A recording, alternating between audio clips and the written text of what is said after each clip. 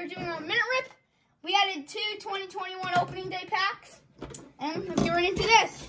See what we roll. Let's get into it. It's a six Ooh, and coin. This is a nine. Well, let's see, we have a nine. We got nine packs. Two, two, three, three. four, five, six, seven, eight, nine. Ooh, a pink refractor. Pink refractor exclusive. We a pink refractor pack. Sorry about that. All right, let's see what we got. Okay. Who we got? You guys, Monty Grandal.